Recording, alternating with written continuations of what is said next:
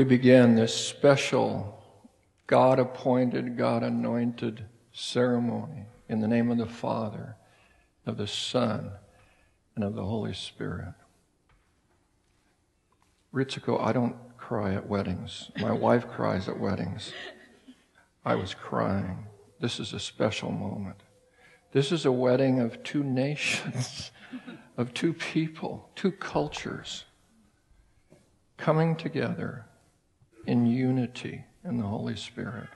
And God has done it, and we marvel at the goodness of God. Let us pray.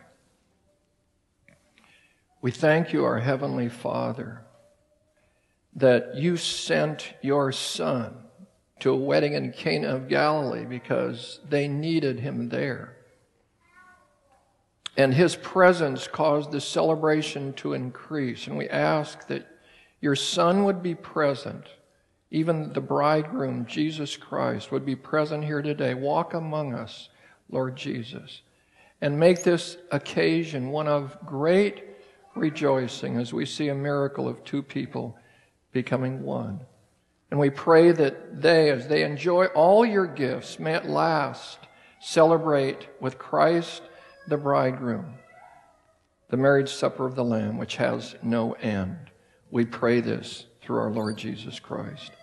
Amen. Shane and Ritsuko come now to be united in the holy station of married life.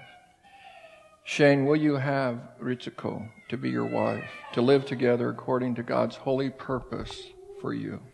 Will you love her, comfort her, honor, and keep her both in sickness and in health? And forsaking all others, keep yourself for her as long as you both shall live.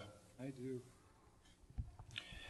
Ritsuko, will you have Shane to be your husband, to live together according to God's holy purpose for you? Will you love him, comfort him, honor and keep him, both in sickness and in health?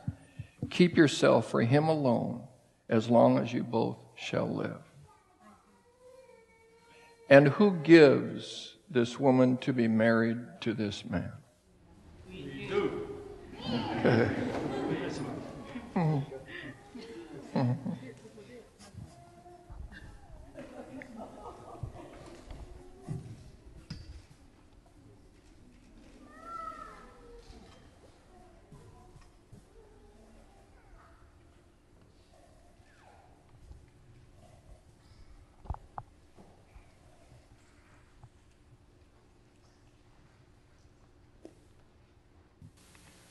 We invite you into a time of worship with us. Please stand and sing Tate to Tate kudasai.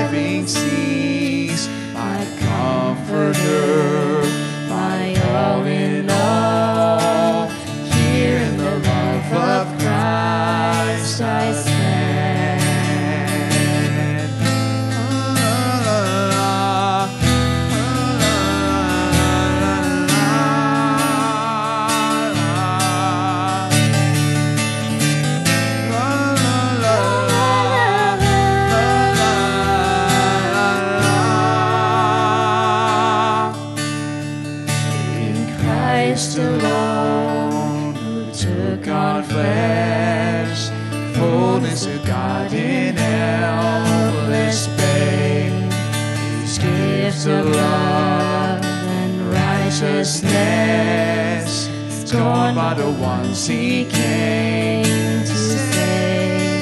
Till on that cross, as Jesus died, the wrath of God was satisfied for every sin on him was laid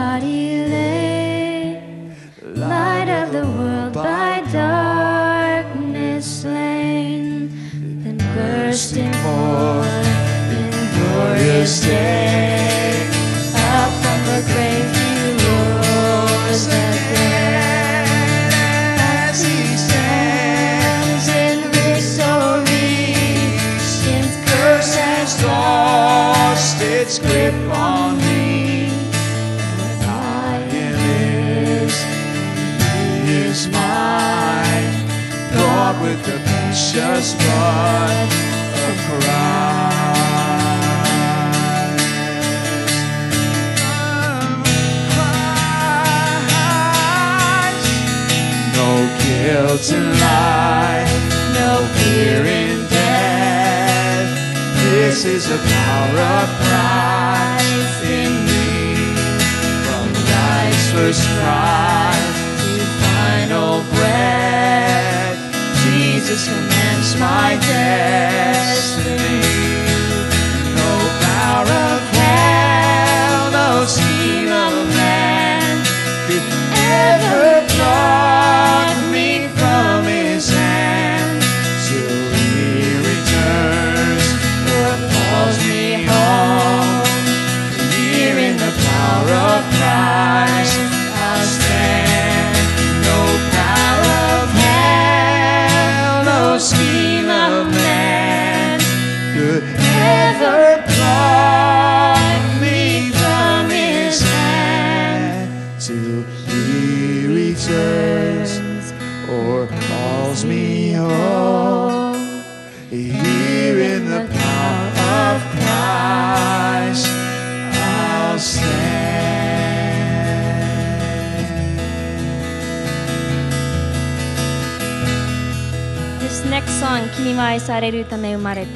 I invite you to sing with me if you can. It is in Japanese, but there will be some romaji on the screen. Romaji is the phonetic spelling. And the melody does change a little bit, but I definitely invite you to. Uh, we will sing the first and third verses twice. So please sing. 歌ってください。君は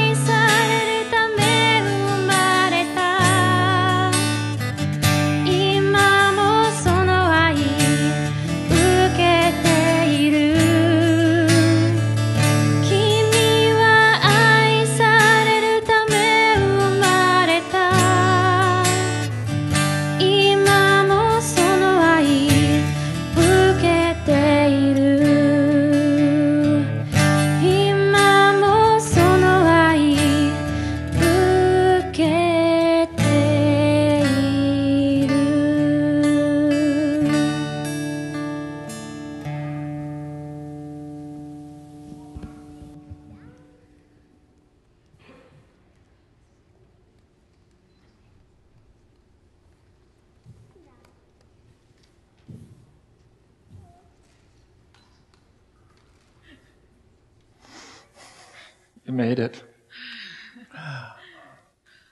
I have two sermons for you this morning.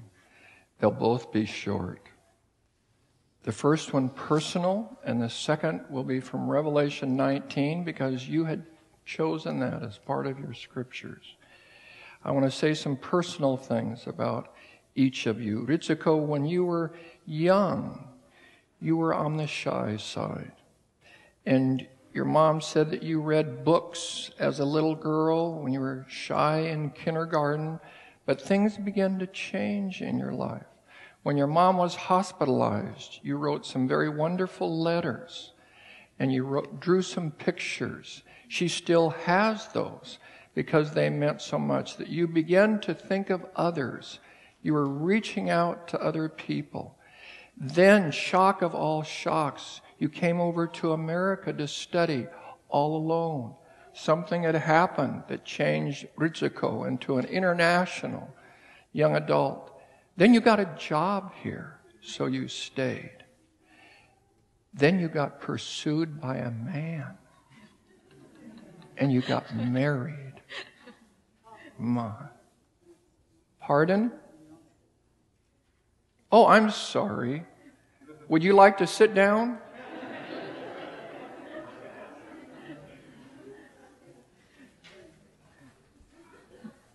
Thank you. My wife looks after me. Something about you, Shane, because you have the same concern for others that she has. One of your teachers said that when students were without a pencil or a piece of paper, you were always the first to say, I can give something to you. When your church sponsored a Cambodian family, you gave one of your special toys, a Tonka truck or a Tonka something, and it became such a treasure that he wouldn't let anyone else play with it. It meant so much to him. Even as a boy, you were looking out for other people.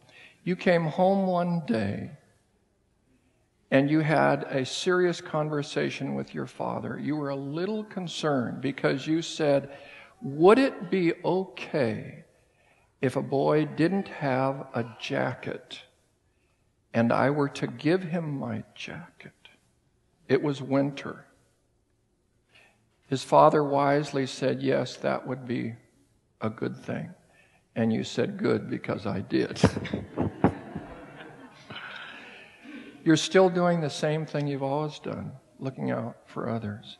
It's going to be wonderful to see how the two of you continue what God has taught you personally. And then a word from Revelation 19. There are similarities between this marriage today and the great wedding supper of the Lamb. I'm going to show you six things. First, the bride has, pers- has been pursued by the bridegroom. We didn't pursue Jesus, He pursued us. The Bible says, In this is love. Not that we loved God, but that He loved us and sent His Son to be the expiation for our sins. It wasn't that we went after God, God went after us. God's a lover, the Bible says. This book starts with a walk and ends with a wedding. And God is after you. He's after you. He's found you. And He has caused you now to respond to Him. You pursued her. Before she knew she was being pursued, you went after her. Then you pulled back momentarily and you came back full force. But in a careful way, so that when you asked her to marry you, she was shocked because she didn't know you were dating. I want to say to young men here follow the example of Jesus Christ who pursued his bride. Do you get the point? The Bible says, He that finds a wife finds a good thing and obtains favor from the Lord. That means if you're going to find a wife, you go looking, you search. He searched, he found. Second thing, the bride has said yes. You have said yes to Jesus who has pursued and loved you. Yes means no. It means no to everything else. In chapter 18, there's another lover, but she's called a prostitute because she gives her love away to anybody for any reason. It's artificial, it's cheap, it's meaningless, but it's easy to do if we say, yes, well, maybe. And so we want to say a strong yes to Jesus Christ. We just heard your yeses. You said it. That closes the door. What God hath joined together, let not man put asunder. Same, your yes. If we asked if we could go on the honeymoon with you, what would you say? No. Because marital love has an exclusivity about it. Number three, everything points to the wedding day. From December 31st to June 6th, it was all about the wedding. You were making decision after decision related to this day and what will follow.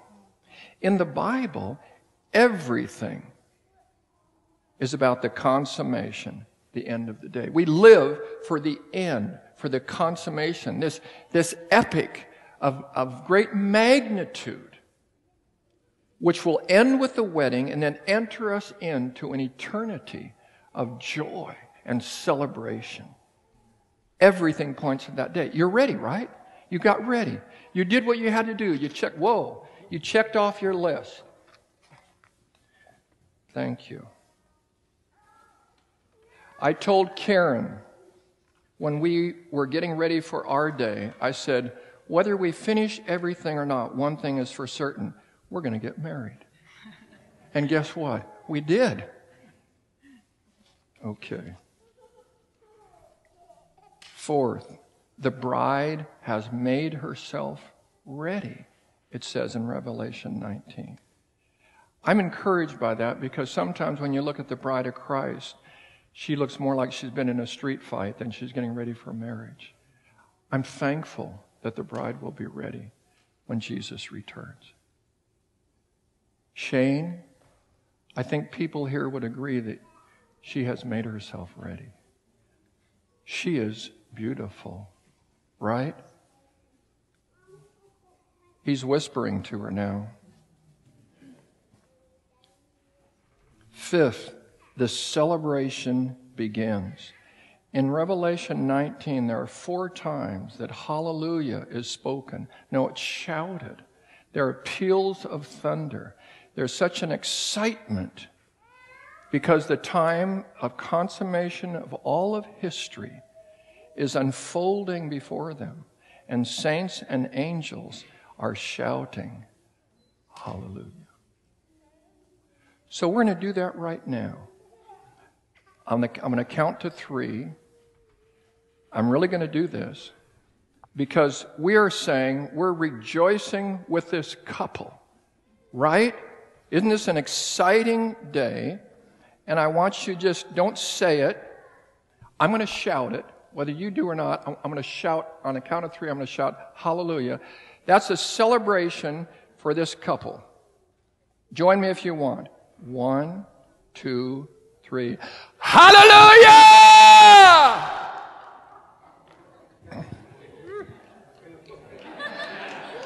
That's how we feel about what's happening today. We could do it four times like they did in Revelation 19, but we'll let that settle for now. The celebration has begun. Two lives are becoming one. Two destinies are becoming one. Two checkbooks are becoming one. You're being pulled together in a beautiful unity, in a miracle where God takes two people and he makes them one. Exciting beyond measure. Lastly, there's an RSVP. It says, Blessed are those who are invited to the marriage supper of the Lamb. I need to ask these people, were you all invited to this wedding? Did you all RSVP? Raise your hand if you did not RSVP. Oh, we have one. Okay.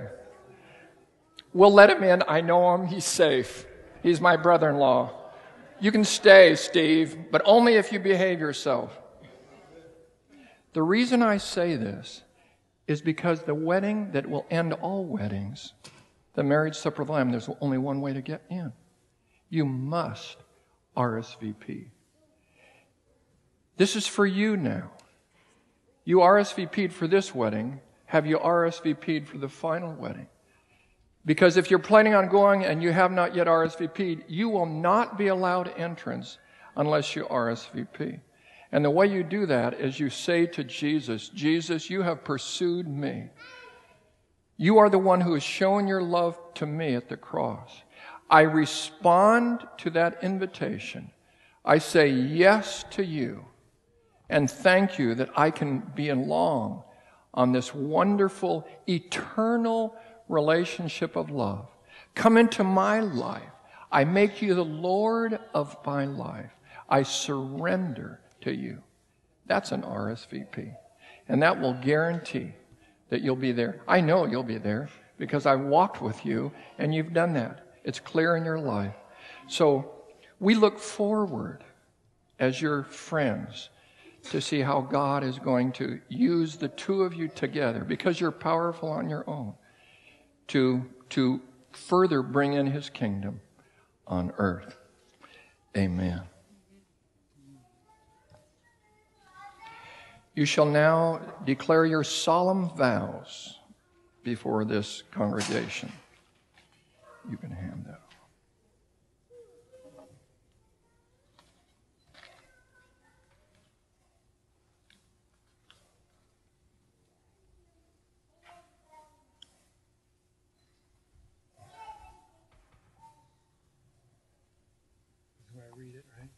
Yeah.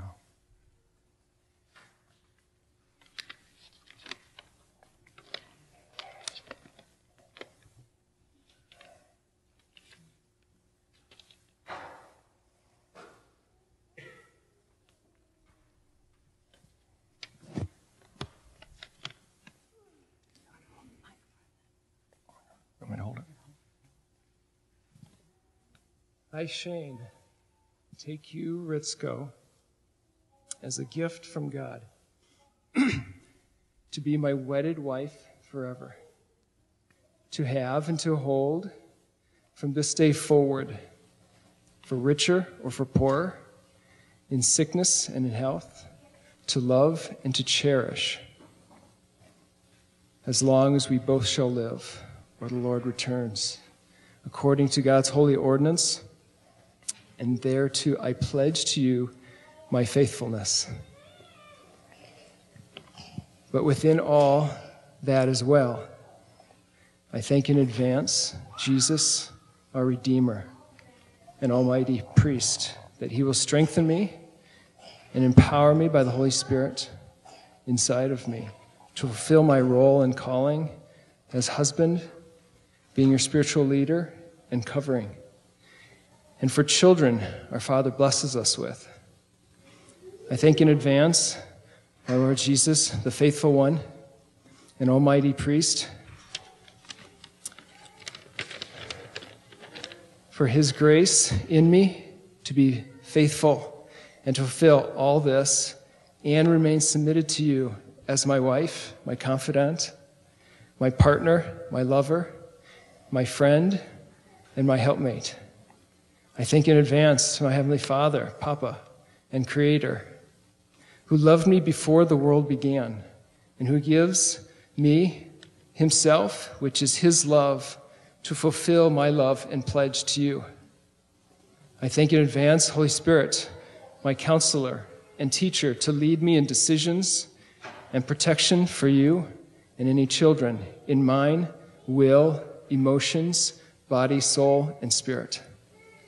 I thank in advance my parents, family, relatives, friends, and acquaintances through whom God may use to support us, encourage us, and challenge me. Give me a kick in the butt sometimes. Mm-hmm. In the faithfulness of my covenant pledge I make with you today.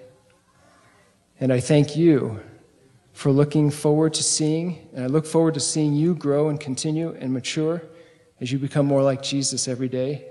For you are a gift to me and your students and your friends and your family, and shortly, Lord willing, our families. Amen.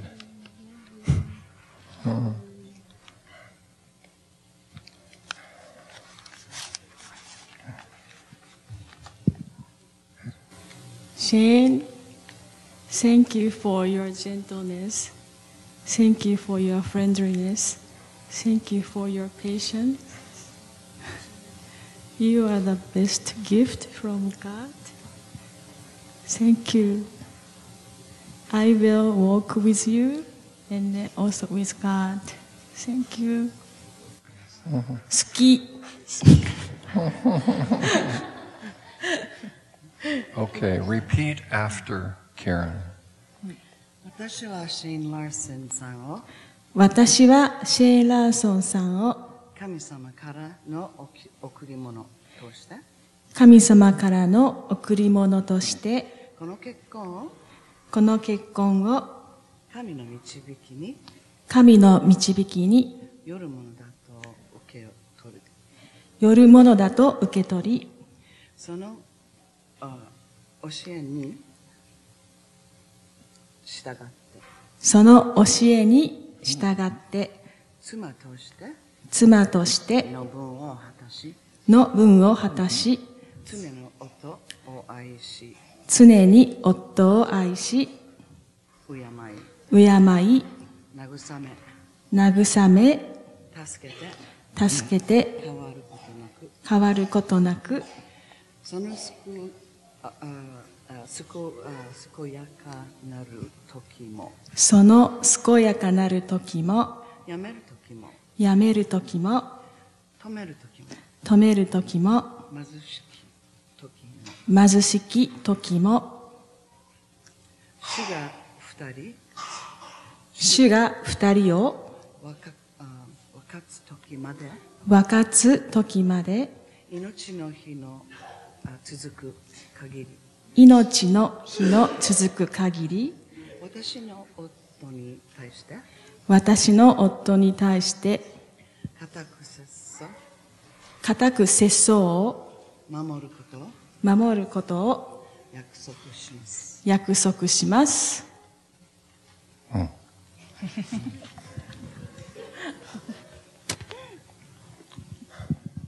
Did you get that?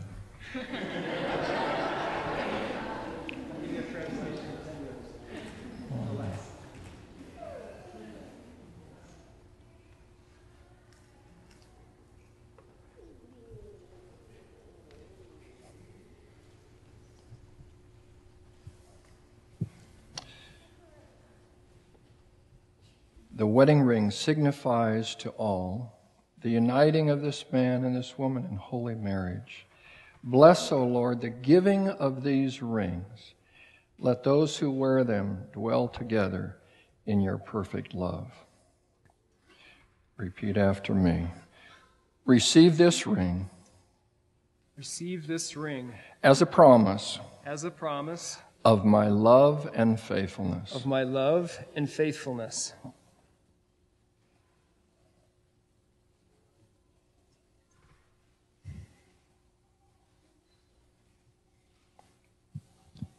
Receive this ring Receive this ring as a promise as a promise of my love and faithfulness. of my love and faithfulness. May the Lord God, who sanctified the union of the first man and woman, do the same for you, that you may please him in your life together all your days. Father of love, pour down your grace upon Shane and Ritsuko, that they may fulfill the vows they have made this day. Give them power to reflect your steadfast love in their lifelong faithfulness to each other. Grace them with affection, understanding, tenderness toward one another. Let those who touch their lives detect the peace and joy which comes from you. Amen.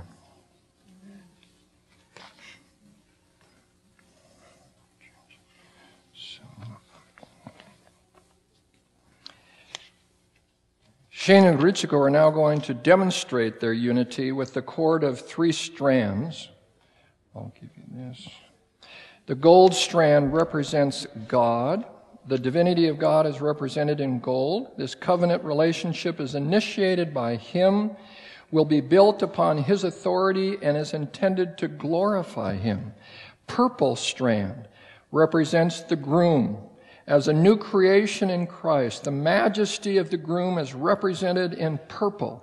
As the husband loves his wife and submits himself to the Lord, the Lord in turn will demonstrate his great love in the marriage relationship. The white strand represents the bride.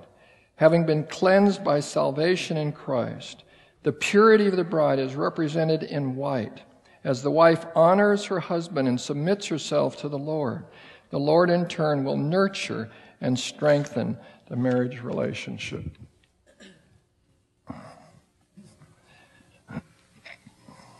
Shane and Ritsuko, God designed life for companionship, not isolation, for intimacy, not loneliness. In this Ecclesiastes reading, trials in life are better faced with partners than alone. The reading is from Ecclesiastes chapter 4, beginning at verse 9.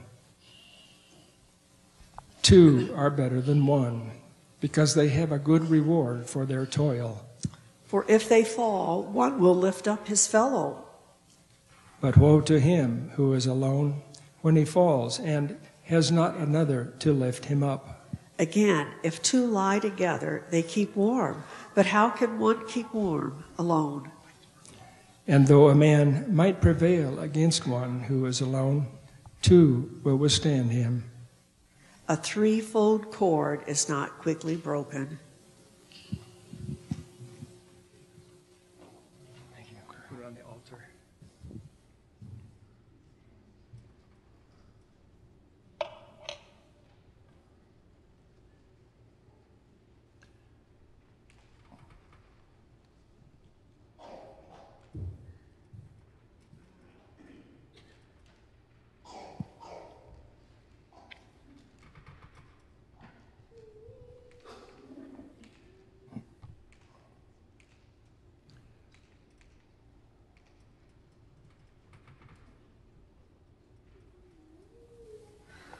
Our Lord Jesus Christ, in the night in which he was betrayed, took bread, and when he had given thanks, he broke it, gave it to his disciples, saying, Take and eat.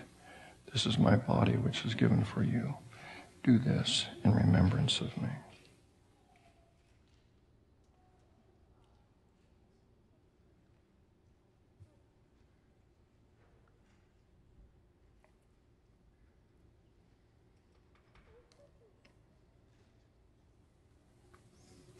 In the same way, also, he took the cup after supper.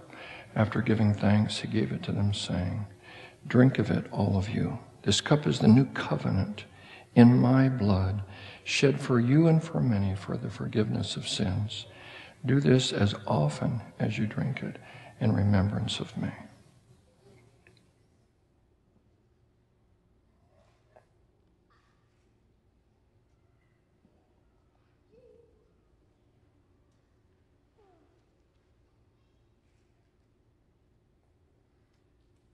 Body of our Lord Jesus Christ and his precious blood strengthen you and keep you steadfast until life everlasting. Peace be with you. Amen.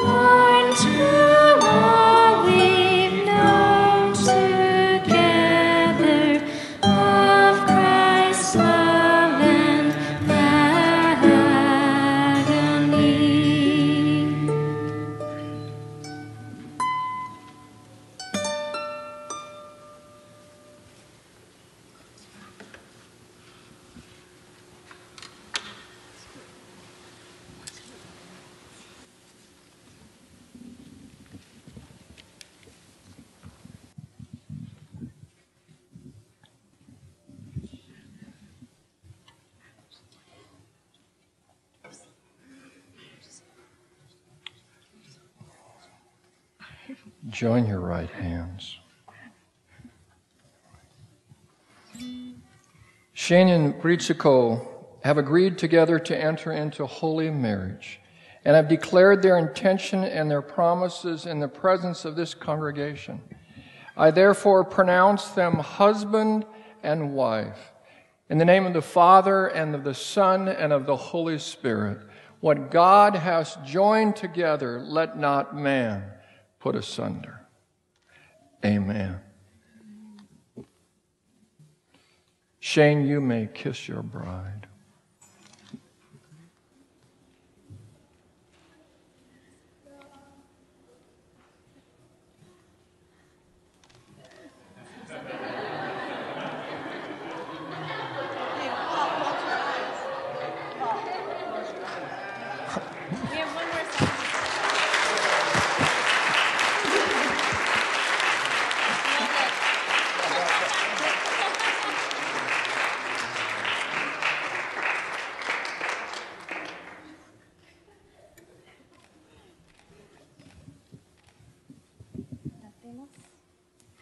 I was a witness. I can tell you they did get, they get, they did kiss.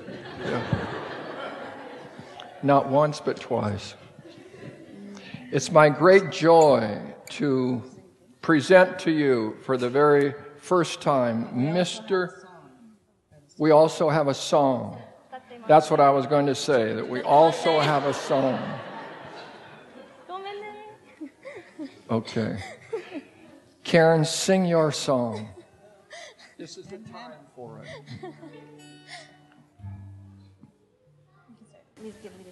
And people join us after the second verse.